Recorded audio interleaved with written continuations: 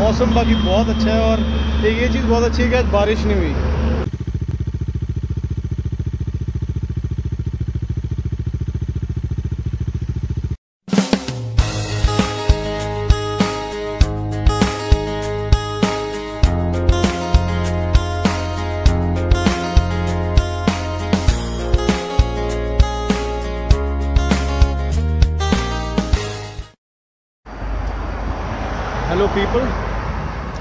करता हूँ, आप सब लोग सेफ़ होंगे, अच्छे होंगे और हेल्दी होंगे।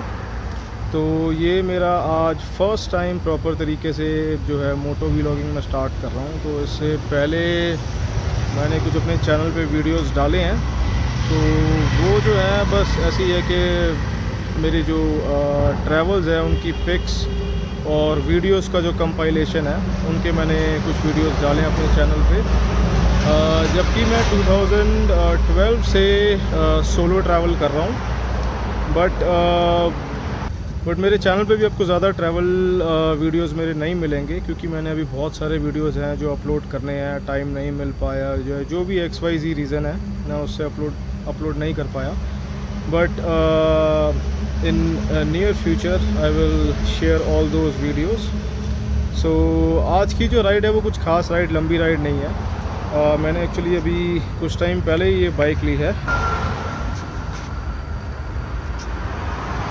डोमिनार 400 है जिसका नाम मैंने रखा है द ब्लैक हॉक सो अभी ज़्यादा टाइम नहीं हुआ है मार्च में ही मैंने लिया ये बाइक तो uh, इसको मैं ज़्यादा कहीं लेके भी नहीं जा पाया बिकॉज़ ऑफ़ लॉकडाउन सो एक दो छोटी छोटी राइड्स करी हैं।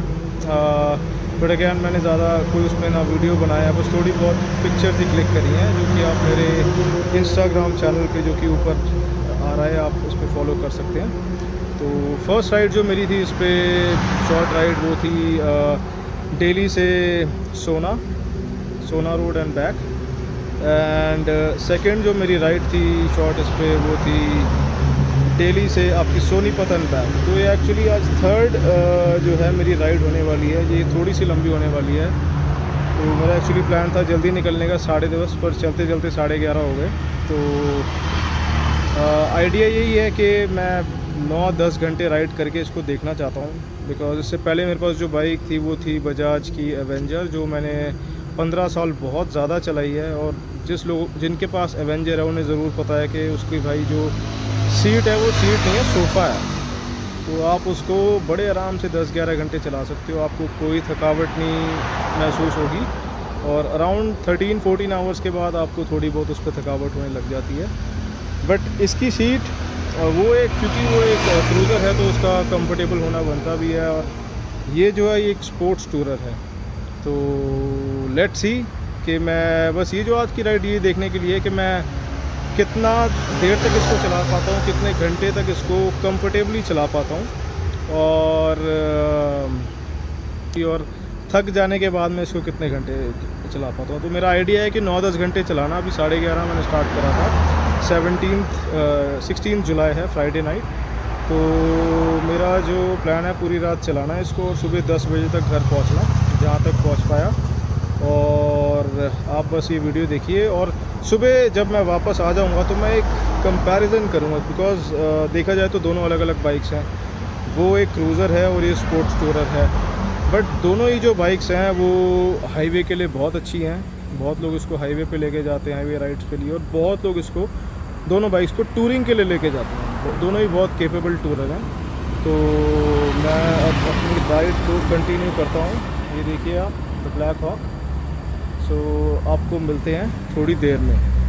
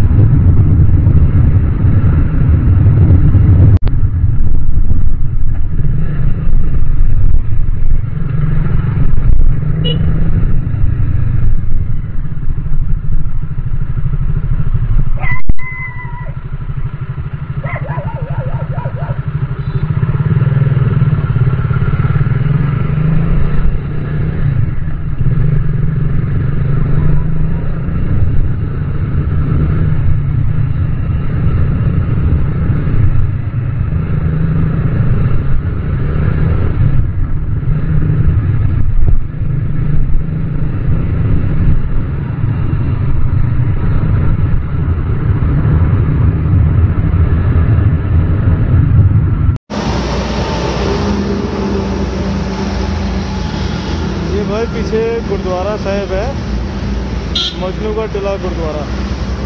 तो मैं जैसे आपको बताया, मैं 2012 से ट्रैवल कर रहा हूँ सोलो तो जब भी मैंने जाना, रात को यहाँ पे मत्था टेक के जाना।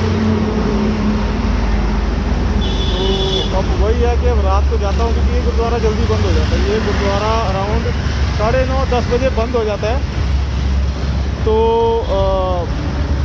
बाहर से ही मत्था टेकता था। अब यहाँ पे, पहले यहाँ पे ये बैरियर जो बीच में लगा हुआ है ना डिवाइडर लगा हुआ ये डिवाइडर नहीं होता था।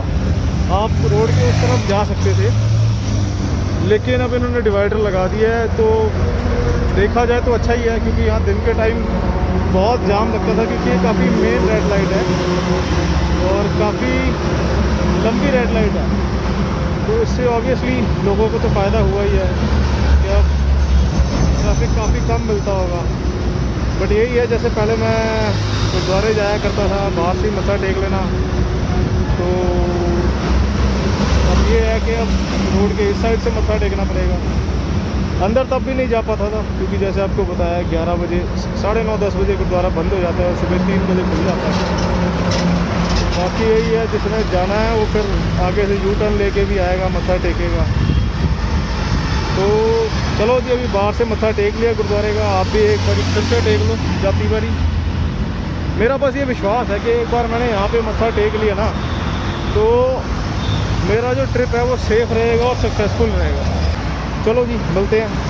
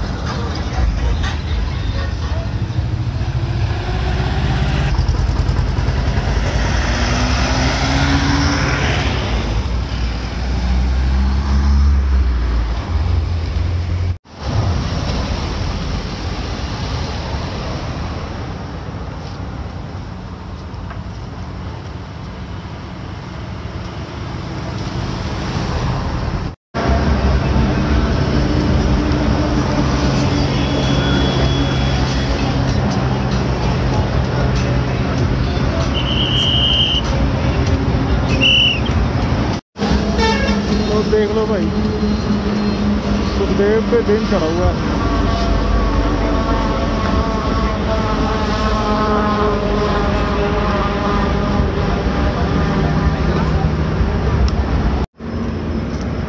तो भाई अभी मुझे बाइक चलाते चलाते ऑलमोस्ट तीन घंटे हो गए हैं।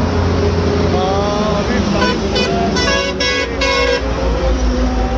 साढ़े ग्यारह चला था और अभी टाइम हो रहा है आपका सवा दो, मैंने आपको दिखाया। और पानीपत के पास हूँ। पानीपत यहाँ से अराउंड पाँच पाँच सात किलोमीटर का रह गया। तो देखता हूँ, अभी तो दो ही बजे हैं तो आई थिंक एक डेढ़ घंटा या दो घंटे और राइड करूँगा और फिर वापस चलेंगे दिल्ली। मौसम बाकी बहुत अच्छा है और एक ये चीज़ बहुत अच्छी है कि आज बारिश नहीं हुई। तो अभी तक तो बचा हूँ होपफुली होप कि ऐसे ही रहे मौसम और सुबह भी बारिश ना हो। घर पहुँच जाऊँ, उसके बाद हो जाए अच्छी, क्योंकि फिर कल सैटरडे, संडे है, बारिश अच्छी होगी तो फिर मौसम अच्छा रहेगा, ठंडा रहेगा। चलो, राइड कंटिन्यू करते हैं और मिलते हैं थोड़ी देर में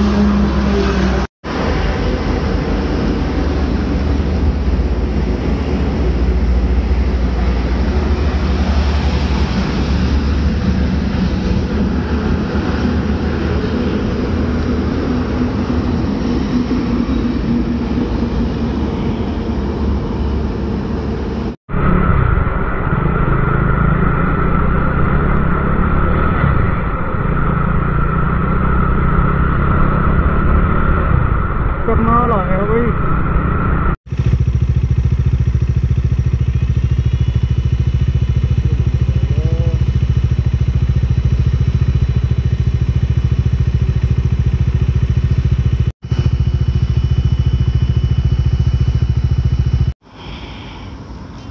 तो भाई टाइम हो रहा है साढ़े चार। झिलमिल ढाबे से मैंने यू टर्न ले लिया है। अब वापस दिल्ली चलेंगे, लेकिन पहले चाय पीने का बहुत मन कर रहा था। मैं सोचा चाय बनाते हैं। तो भी बन रही है एकदम कड़कदार चाय। पीनी है तो आ जाओ।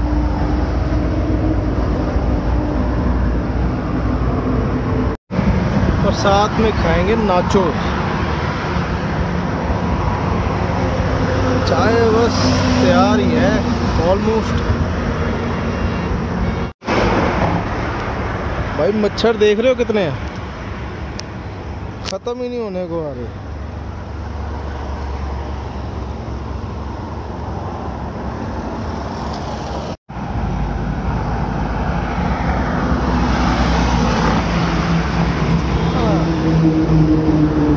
भाई दिन भी निकलने वाला है।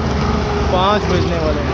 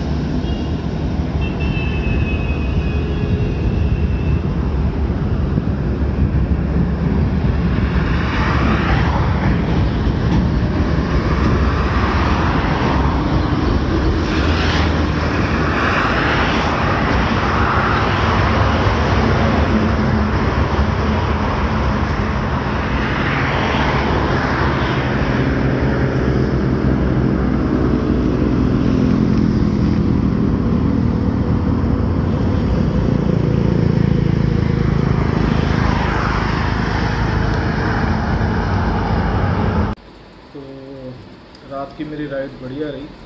मैं आ, करनाल तक गया और झिलमिल ढाबे से जो यू टर्न है वहाँ से फिर मैं वापस आ गया। तो मेरा टोटल डिस्टेंस जो था वो 298 किलोमीटर्स था। मौसम बहुत अच्छा था और वापस आने का बिल्कुल मन नहीं कर रहा था। मन कर रहा था कि बस आगे जा ही जाऊँ जा ही जाऊँ जा ही जाऊँ। बट घर पे बोला था कि दस बजे से पहले आ जाऊँगा। तो मैं सुबह नौ बजे घर पहुँच गया था। बस आते आते एक छोटा सा सीन हो गया था। तो शुक्र है कि किसी का, किसी को ज़्यादा चोट नहीं लगी। एक मेजर हादसा होते होते बच गया। बड़ा एक्सीडेंट होते होते बच गया।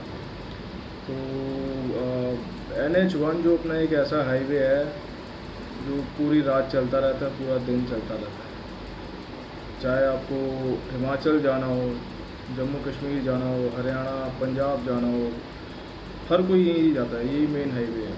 तो इसीलिए क्योंकि इतना बिज़ी हाईवे है ये, इसीलिए यहाँ पे एक्सीडेंट भी बहुत ज़्यादा होते हैं। आप लोग भी जैसे कभी फैमिली के साथ कार में जाते हो हाईवे पे आप ड्राइव कर रहे होते हो, या बाइक चला रहे होते हो आप, और आपके आगे कोई व्हीकल चल रही है, वो और वो एकदम से उसने ब्रेक लगा दी तो आपको भी ब्रेक लगानी पड़ जाती है। और ये बहुत मुश्किल होता है उस समय अपनी कार या बाइक को कंट्रोल करना। और रिस्की भी होता है आपके लिए भी और आपके पीछे कोई व्हीकल आ रही है उसके लिए भी। और इस समय एक्चुअली सही बताऊँ तो आपके राइडिंग या ड्राइविंग स्किल से ज़्यादा आपका लक जो है वो काम आता है। अगर आप लकी हो तो आपको कुछ नहीं होगा। और क्योंकि हमारा जो हाईवे है वो ऐसे हैं कि कभी उस पर कई लोग ही हैं जो देखते नहीं हैं किस स्पीड में व्हीकल आ रही है। देख देख के क्रॉस नहीं करते एकदम भाग के क्रॉस करना शुरू कर देते हैं या फिर कोई जानवर आ जाता है एकदम से रोड पे या फिर आ, कोई व्हीकल आपके आगे चल रही है कोई बाइक बाइक या कार चल रही है वो ऑल ऑफ़ अ सडन अपनी लेन चेंज कर लेती है या आ, फिर ना अगर आप रात को ड्राइव कर रहे हो तो आप कई बार देखते हो कि जो ट्रक हैं वो अपनी lane all of a sudden change करके आपके सामने आ जाते हैं बिकॉज़ उनकी लाइफ भी बेचारों की बहुत टफ है। और चौबीस चौबीस घंटे चलाते हैं तो कई बार नींद आ जाती है उनको। तो इसमें जो आप पीछे चला रहे होते हो आपको भी एकदम से ही ब्रेक लगानी पड़ती है और ये काफ़ी रिस्की हो जाता है कई बार। तो ऐसा ही कुछ हुआ जब मैं वापस आ रहा था। आ, मैं सिंगू बॉर्डर पे था जहाँ पे अब फार्मर ने अपने टेम्प्रेरी घर बना लिए हैं। तो सुबह सुबह का टाइम था अराउंड सात बजे के आसपास का। तो आ, और मैं मेरी बाइक की स्पीड भी सिक्सटी सेवेंटीज़ के बीच में होगी तो मेरे पीछे एक कार आ रही थी। और तो मैं चला रहा था और एकदम से ढपकी आवाज़ आई। और जैसी आवाज़ आई उसके बाद एकदम से ही पैनिक ब्रेकिंग की आवाज़ आई। जैसे वो कार की नहीं आती ची ऐसे करके एकदम से। तो आ, मैंने जैसे पीछे मुड़ के देखा तो मेरा जो टॉप बॉक्स है वो गिरा पड़ा था। और तो मेरे पीछे एक कार आ रही थी और उनको एकदम से ब्रेक लगानी पड़ गई कि बॉक्स उनके एकदम सामने गिर गया और उनके पीछे एक और कार आ रही थी, उसे भी ब्रेक लगानी पड़ गई। तो मैं बाइक से उतरा, मैं गया। सबसे पहले तो मैंने उनको सॉरी बोला क्योंकि वो पूरी फैमिली थी और आप कभी नहीं चाहोगे कि आपकी वजह से किसी का एक्सीडेंट हो जाए स्पेशली फैमिली भी अंदर बैठी हो।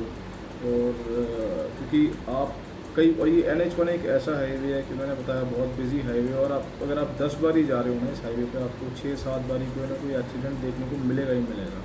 चाहे वो मेजर एक्सीडेंट हो या माइनर हो बट आपको मिलेगा ही मिलेगा।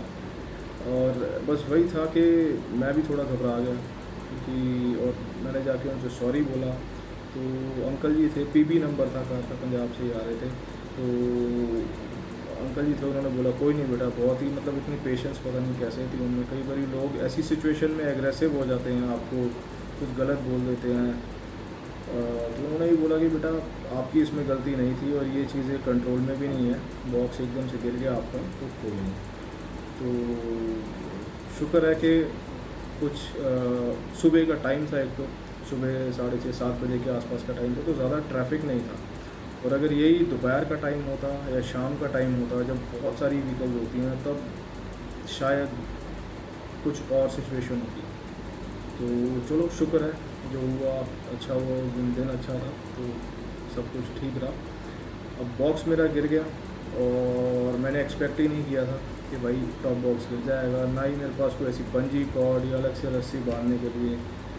सुबह सुबह का टाइम तो मैंने कहा, मैं क्या करूँ? तो थोड़ी देर वेट करी मैंने एक बंदा आया उससे मैंने पूछा कि भाई आ, ऐसे मुझे कोई रस्सी मिल जाए कहीं से मैं बॉक्स को पीछे बाँध दिए जैसे तैसे घर पहुँचूँ। तो उसने बोला कि आगे वापस आपको जाना पड़ेगा पाँच सात किलोमीटर और अंदर गाँव में जाके कोई मार्केट है तो वहाँ पे आपको मिल सकता है। और तो मैंने कहा यार पाँच सात किलोमीटर पहुँच जाएगा वापस पीछे। तो मैंने वेट करते हैं। एक बंदा और आया मैंने उससे पूछा तो उसने मुझे बोला कि मेरा एक डेढ़ किलोमीटर पे घर है तो आप मुझे मेरे घर भी छोड़ दो और मैं आपको वहाँ से रस्सी भी आपको दे दूँगा बांधने के लिए। बट मैंने उसको ध्यान से देखा, वो बंदा सुबह सुबह पूरे नशे में था, वाइट कुर्ते, पजामे में था, हरियाणवी लोकल था। तो पूरे, हो सकता है कि भाई वो बहुत अच्छा इंसान भी और जेनविनली हेल्प करना चाह रहा हो। बट ऐसी सिचुएशन में आपको बोलूँगा कि आप जो है किसी पे ट्रस्ट ना करें। हो सकता है वो बहुत अच्छा बंदा हो बट ट्रस्ट ना करें। आप हाईवे को मत छोड़ें हाईवे पे ही रहें।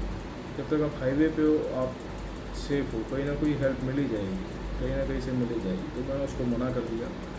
मेरे साथ एक्चुअली ऐसे पहला एक सीन हो चुका है, जब मैं 2015 लद्दाख से वापस आ रहा था।